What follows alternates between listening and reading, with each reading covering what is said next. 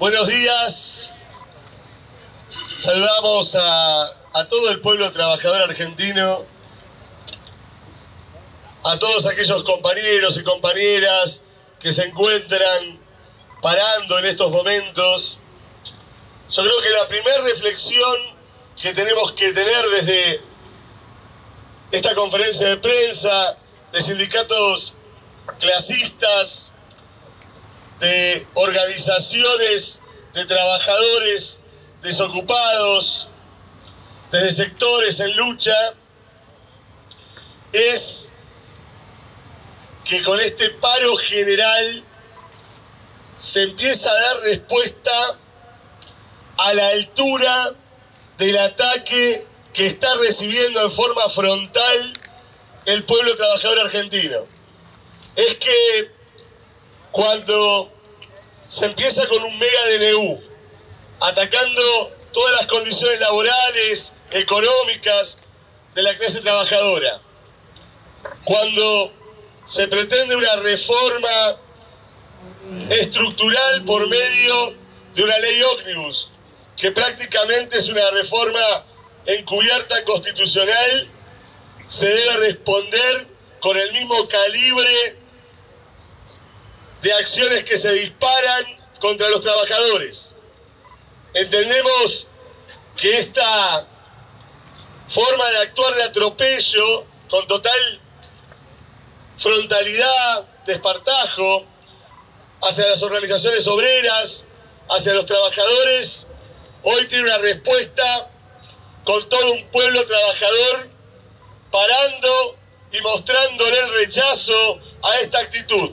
Y también marca la necesidad que cuando se quiera concretar aquí enfrente donde está este Congreso, la aprobación de la ley bases, se debe parar el país y movilizar, porque hay que responder a la altura de lo que se quiere colocar. Y cada dirigente responderá en la historia por el poder de decisión que tuvo en ese momento. Por eso llamamos a las centrales sindicales, a la CGT, a generar un nuevo paro general necesario y que cubre la situación que se plantea enfrente el día que se quiera aprobar esta ley bases que tiene adentro la reforma laboral y un ataque frontal a todos los trabajadores. Me toca en mi caso, soy Alejandro Crespo, secretario general del Sindicato de Neumáticos del SUTNA, poder decir que en la industria estamos recibiendo eso, esos golpes en cada lugar de trabajo. Entendemos con claridad que cada noticia que se da es en contra de la organización de los trabajadores, los puestos de trabajo, las condiciones laborales, las paritarias. Dos meses tenemos sin ninguna propuesta salarial después de años de construir el poder adquisitivo de los trabajadores.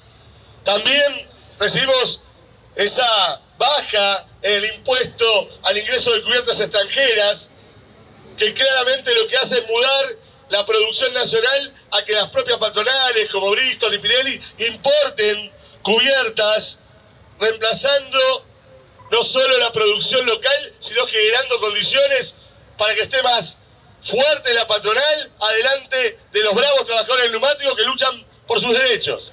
Desde ya le decimos a las patronales, desde el neumático, que la paritaria volverá a salir como sale todos los años, en favor de los trabajadores, con la lucha que quedado en el medio.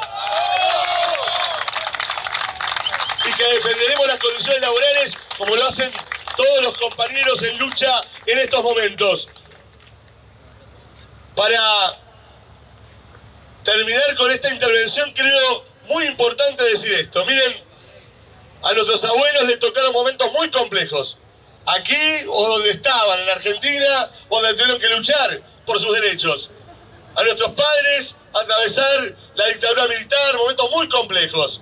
A nosotros como generación obrera nos toca este gobierno de ultraderecha atacando nuestros derechos y no vamos a ser la generación que sea lo que con tanta lucha conquistaron los que estaban antes de nosotros. Y por respeto a las luchas de nuestros padres, nuestros abuelos y principalmente por el futuro de nuestros hijos, los trabajadores y trabajadoras, daremos esta lucha hasta el final, hasta vencer a este gobierno de ultraderecha, su programa, el macabro plan de mi ley, y pondremos la agenda de los trabajadores para que tenga respuesta, vamos a ir por más conquistas después de esto.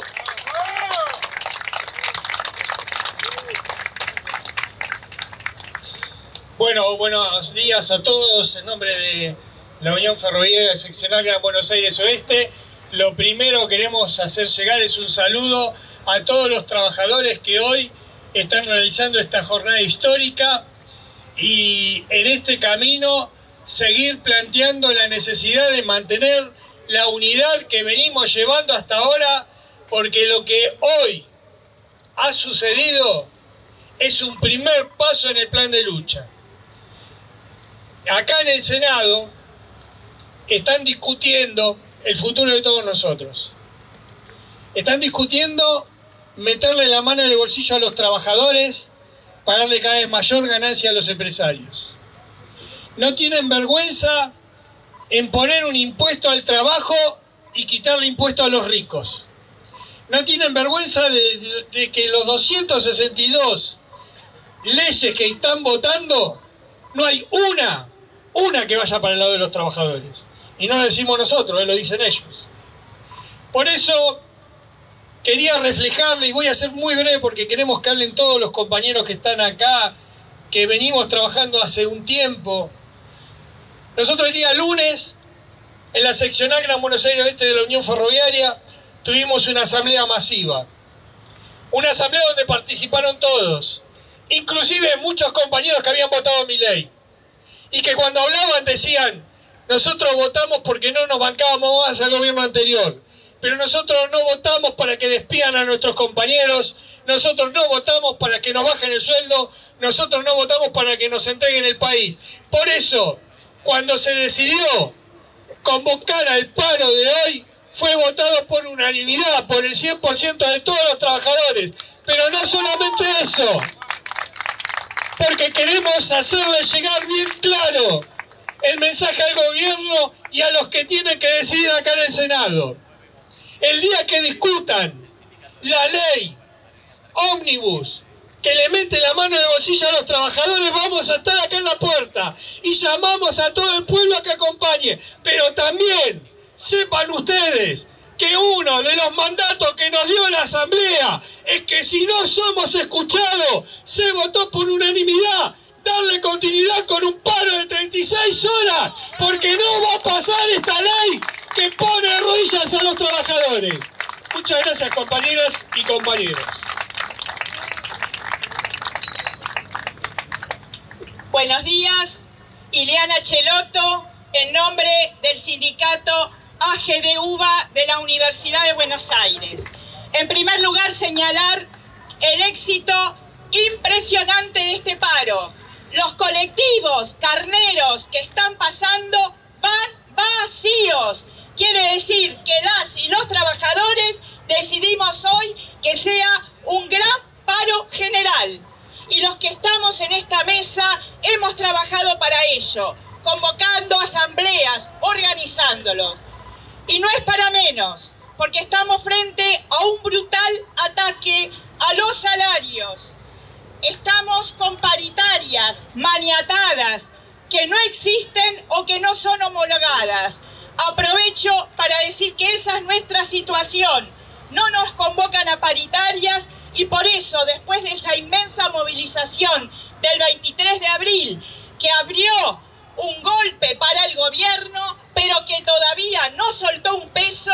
A partir del lunes profundizamos nuestro plan de lucha.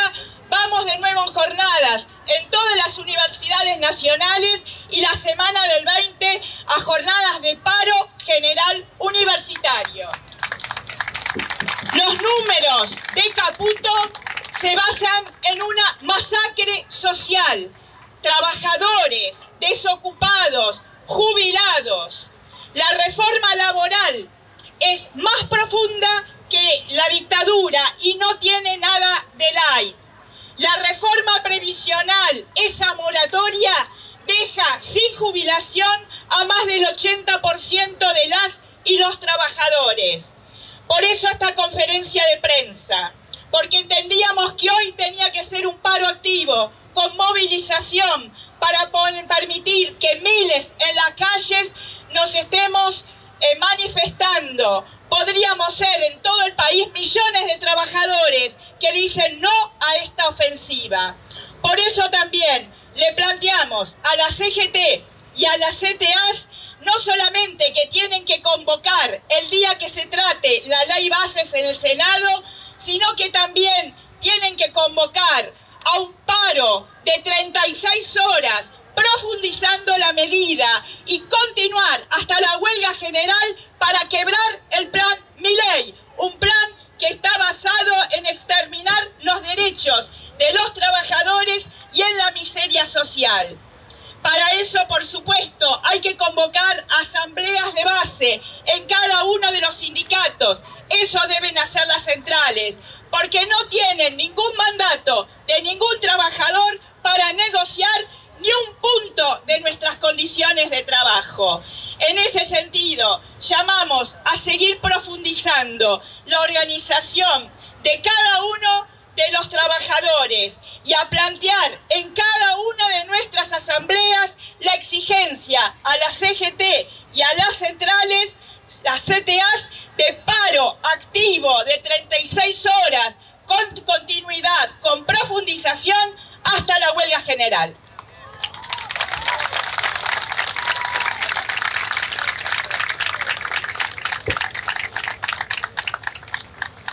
Buenos días, Mariana Escayola, en nombre de Ademis.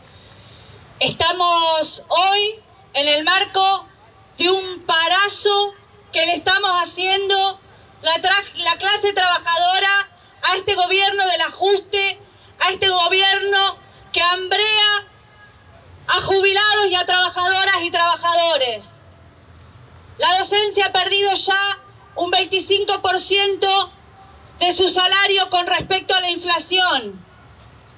Basta ir a la fila de un supermercado, a la fila de una farmacia, para ver a trabajadoras y trabajadores sacando del carrito, para que contando las monedas, para poder ver qué es lo que podemos llevar. A nuestros viejos sacando medicamentos, para poder comprar la canasta que se necesita de remedios en la farmacia. Lloramos, compañeras y compañeros, viendo esa realidad, porque se nos están muriendo los viejos, porque este gobierno, mientras le llena los bolsillos a las multinacionales, mientras le saca el impuesto a quienes más ganan, mientras entrega nuestros recursos, ataca a los que menos tienen, niega el alimento en los comedores, ajusta las escuelas, ajusta en salud, ajusta a nuestros jubilados y nos ajusta a trabajadoras y trabajadores. Mientras tanto, acá enfrente nuestro en el Congreso, el gobierno y los partidos patronales están negociando y poroteando los votos para aprobar una reforma contra las trabajadoras y trabajadores. Es por eso que desde acá exigimos que se convoque el día que se pretenda votar esa, esa ley, que la CGT, que la CTA convoquen de manera masiva a una movilización contra la ley bases, pero además que vote la continuidad de este plan de lucha con un paro de 36 horas y una movilización para derrotar el plan de ajuste de mi ley y del Fondo Monetario Internacional. Porque quienes dijeron que venían a ajustar a la casta, a quienes están ajustando, es a los que menos tenemos, a quienes todos los días nos rompemos el alma trabajando. Es por eso que hoy el, el paro es contundente. Pero además es un paro. Ayer hablaban de extorsión. Somos las trabajadoras y trabajadores llevando adelante el paro quienes ejercemos la extorsión. Hoy las escuelas están cerradas porque paramos los docentes, paramos los, pararon los auxiliares, pararon los administrativos y no hubo un solo trabajador que quiso presentarse en las escuelas. Por eso, compañeras, compañeros, sigamos impulsando la coordinación y exijamos a la CGT y a la CTA la continuidad con 36 horas para frenar el plan de ajuste de mi ley y el Fondo Monetario Internacional. Hola. Buenos días a todos y a todas, las y los compañeros. Se jode, se jode. Buenos días a las y los compañeros y un saludo, como dijeron mis antecesores en la palabra, a los trabajadores que hoy tomaron el viejo histórico método con el que hemos conquistado las ocho horas, eliminado el trabajo infantil. Alguno pregunta por qué se hace el paro. Para defender las conquistas que, como dijo Alejandro, nuestros abuelos y nuestros padres nos dejaron como legado. Es muy claro por qué paramos y una gran felicitaciones a los compañeros y compañeras que hoy están parando.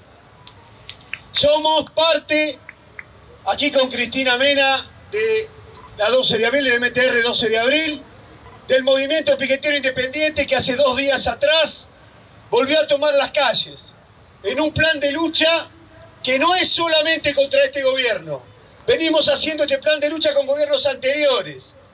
Venimos planteando que hay un ajuste contra los que menos tienen y que lo aplica de conjunto la clase capitalista. Ahora apretaron el acelerador, eliminaron la comida de los comedores populares están destruyendo un programa social que es el potenciar trabajo, que no era la panacea de nada, pero había significado un avance contra lo que es una frontera, contra lo que es el avance del narco en los barrios.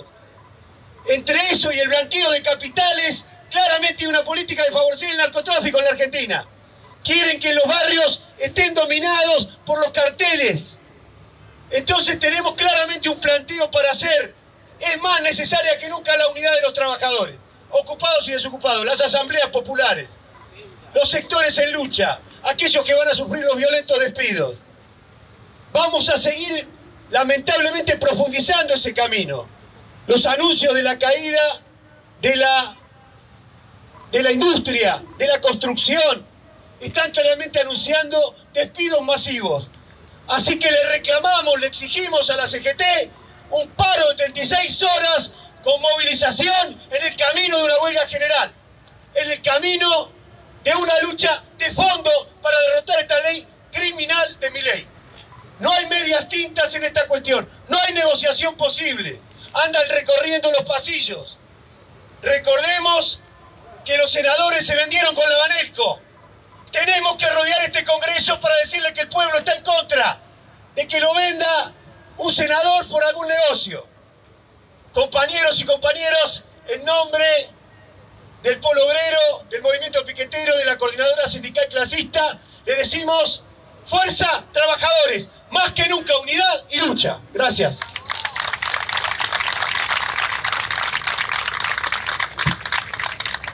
Buenos días. Buenos días a todas, a todas y a todos. Guillermo Pacagnini, del Secretariado de la Federación Sindical Nacional de Trabajadoras y Trabajadores de la Salud y de la Agrupación Nacional Clasista Antiburocrática. Estamos acá sumando a este paro nacional también desde los hospitales y centros de salud, peleando por salario y presupuesto, desde los hospitales de la provincia de Buenos Aires con la CICOP, desde el hospital Garrahan de la ciudad de Buenos Aires, que hoy a la una y media hace una concentración peleando por un presupuesto que lo está dejando en zona de riesgo. Del Hospital Fernández, que está peleando por la inseguridad de las enfermeras y los enfermeros. De la enfermería de toda la ciudad de Buenos Aires, afiliada a la Asociación de Licenciadas y Licenciados en Enfermería, que está peleando por el reconocimiento laboral, profesional y salarial. de las compañeras y los compañeros del Hospital Italiano que están acá presentes con su comisión interna, que también están peleando por condiciones laborales y por salarios, abandonados por dirigentes que están en la cúpula de la CGT como DAER. Y estamos acá sumando a la fuerza de todos los trabajadores y las trabajadoras del país, porque hoy acá se está expresando, pese a que la CGT no fomentó que se hagan asambleas, no fomentó plenarios abiertos, no fomentó que se prepare este paro desde abajo, no fomentó que haya movilización en todo el país. Y quiso que sea un parito dominguero más, se demuestra que no es más del 50% el que está apoyando el gobierno, que hoy la bronca, los conflictos que se están librando en distintos lugares y la fuerza para derrotar este plan de ajuste y antiderecho del gobierno de Miley está más fuerte que nunca, compañeras y compañeros. También tenemos que decir que la ley que se votó en, diputados y que están siguiendo ahora un circuito de negociado de trastienda con la oposición dialoguista, entre comillas, con el PJ, tenemos que decirlo, porque por acción o por omisión está transando también esta ley antiderecho que pretende barrarnos conquistas que nos costaron décadas de lucha conseguir. Y la CGT, que llama marchas aisladas, intenta, por un lado, descomprimir esta caldera de bronca mientras negocia que pase una reforma ley. Por eso, en unidad todos los que estamos acá, todos los que integramos el plenario del sindicalismo combativo, todos los que integramos la coordinación independiente con las asambleas, los movimientos de cultura y todo el sindicalismo de lucha y el movimiento piquetero le estamos reclamando que el día que se trate la ley acá en el Senado, sin más vueltas, hay que ir a fuerte paro nacional y rodear el Congreso para que esa ley se caiga hasta derrotar el plan de mi ley. Plan de lucha, fuerza compañeras, compañeros y gracias a los trabajadores de prensa por venir. Buenos días compañeras, compañeros. Belén del Citrarrepa, Sindicato de Base de Trabajadores de Reparto por Aplicación. Estamos en una jornada, en un paro que está expresando la bronca de los trabajadores y trabajadoras frente al ajuste y los ataques permanentes que está llevando el gobierno de Javier Milei. Un ataque global, un ataque integral que hace que sea imposible seguir viviendo en estas condiciones que es un ataque a nuestros salarios, que es un ataque a nuestra salud, que es un ataque a la educación, que es un ataque global. Y eso hoy se está expresando en todos los compañeros y compañeras que están parando. Pero vale decir también que este paro tendría que haber sido activo. Las jornadas del 23 de abril en defensa de la educación pública con millones en las calles. El paro del 24 de enero, que a pesar de haber sido de 12 horas con movilización, permitió que cientos de miles también se expresen en las calles. Demuestran que es necesario y que están las fuerzas también para que los trabajadores y trabajadoras podamos expresar en las calles el rechazo a esta ley de bases pero al conjunto del plan que tiene este gobierno, que es de ataque brutal contra el conjunto de las y los trabajadores.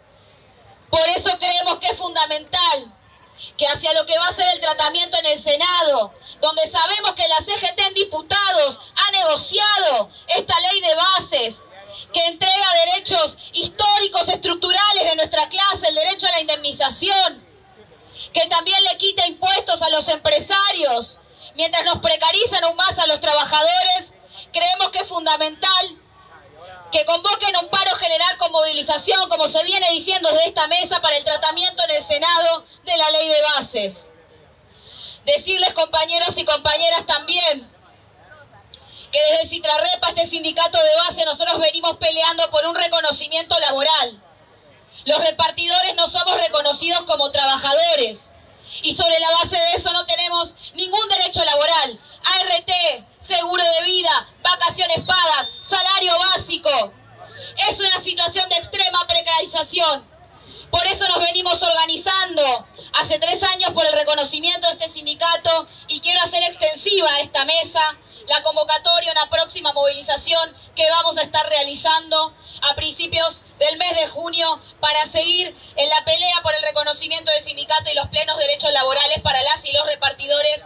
Y bueno, un saludo a todos los aquí presentes, a la prensa, gracias y también un saludo a los compañeros repartidores que están aquí conmigo.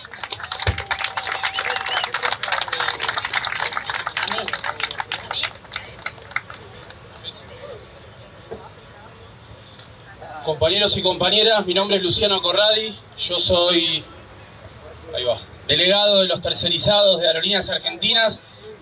Primero vinimos acá con una delegación del movimiento de agrupaciones clasistas, con compañeros y compañeras de Madirab, del subte, compañeros aeronáuticos. Vinimos acá con el compañero Alejandro Vilca, diputado del Frente Izquierda, que junto con el resto de los diputados, Romina de Plá, Miriam Bregman, Nicolás del Caño, también dieron la batalla en diputados contra esta aberración que se llama ley de bases y por eso estamos acá. Y quiero reivindicar primero este parazo que tomamos en nuestras manos desde abajo los trabajadores.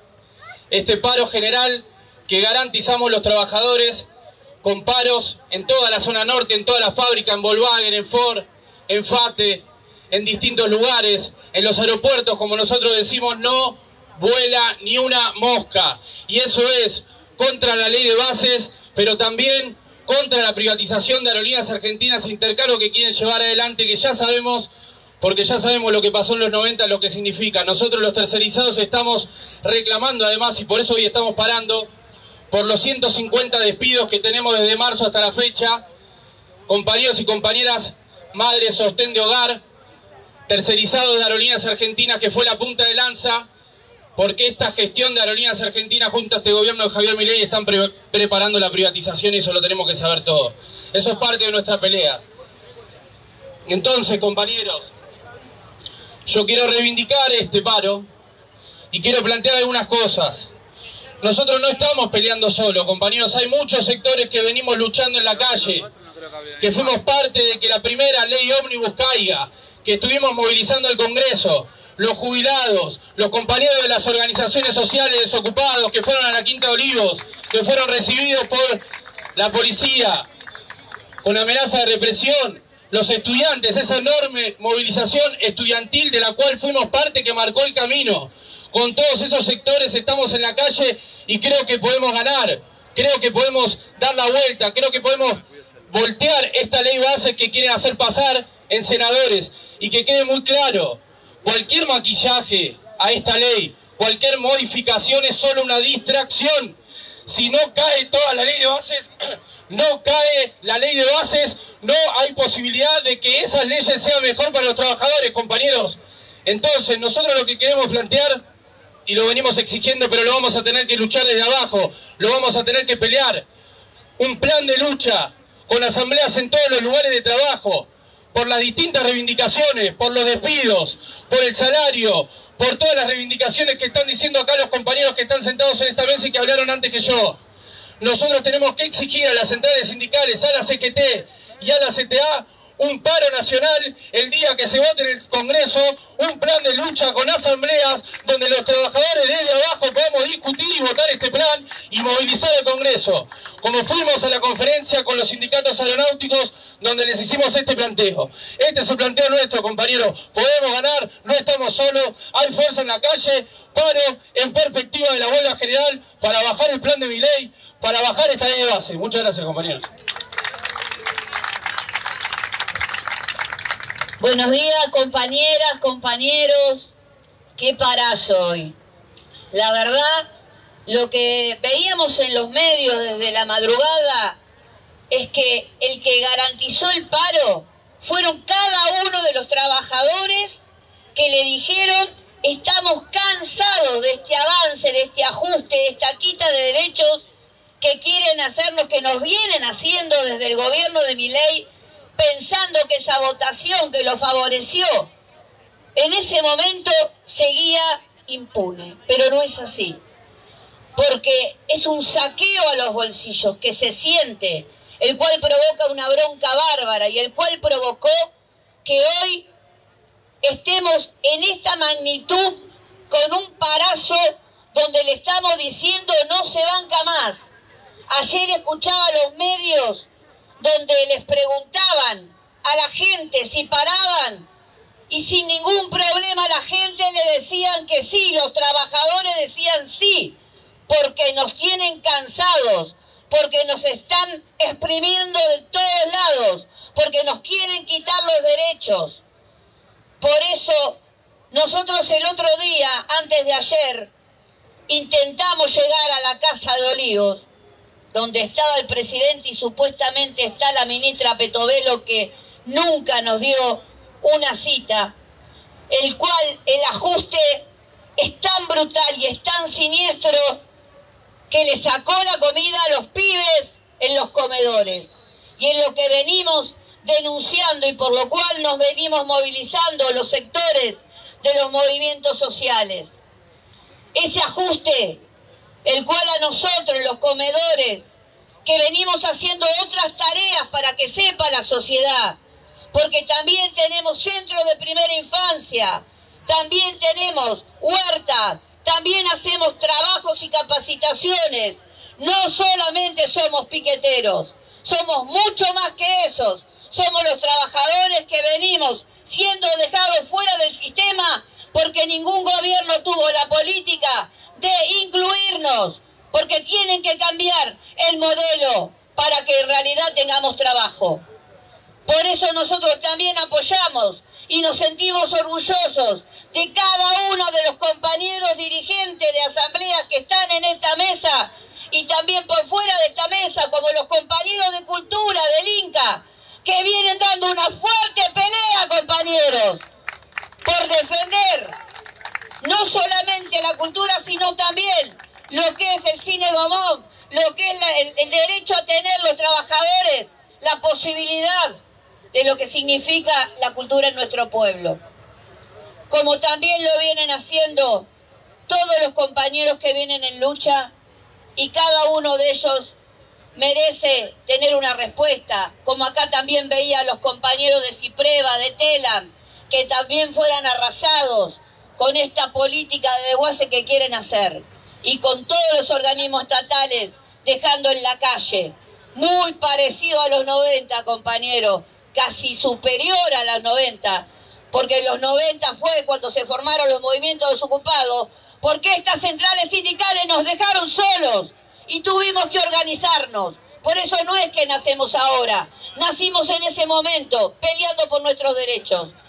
Por eso esta unidad que tenemos acá es la más amplia unidad que necesitamos y como dijeron mis compañeros, tenemos que rodear el Senado y acá en el Congreso exigiéndole un paro de 36 horas con movilización para decirle a este gobierno que estos compañeros que estamos acá y que dirigimos diferentes sectores no vamos a quedarnos y no vamos a frenar hasta no voltear la ley. Gracias compañeros. Bueno, finalizando ya, queremos agradecer el acompañamiento de los compañeros de ARSAT que están peleando contra el vaciamiento y por paritarias, de las juntas internas del INCA, MECON, de, luchando contra los despidos, del Garraham, de organizaciones de jubiladas y jubilados, del encuentro militante Cachito Furman y nos da, cierra con un breve saludo a la compañera Cristina Mena del MTR 12 de abril. Gracias compañeras, compañeros. Hacer un breve recorrido. Hagamos memoria. 20 de diciembre, este gobierno y la Patricia Bullrich pretendían inaugurar un protocolo represivo y un puñado de valientes compañeras y compañeros le llenamos la Plaza de Mayo e impedimos que se aplique el protocolo. Y esa fue la puerta abierta para que esa misma noche las asambleas barriales se reunieran acá. 20 de diciembre. Después le exigimos a esta CGT que tiene tapones en los oídos el día 27 frente a tribunales, poner fecha al paro. Y hoy llegó el día del paro. Y acá está claramente demostrado que hay un pueblo que no se va a arrodillar ni frente al Fondo Monetario Internacional, ni a una CGT corrupta, ni a ningún gobierno que quiera venir y decirnos se terminaron los derechos de la clase trabajadora. Por un paro general hasta cuando caiga este plan siniestro de este gobierno que no merece ni siquiera el nombre de gobierno. Hasta la victoria siempre, compañeros. Nos vemos en la lucha. También agradecemos el acompañamiento de Celeste Fierro, de Gabriel Solano, Juan Carlos Giordano y Néstor Vitrola. Y la solidaridad del Suteba Tigre nos acaba de llegar.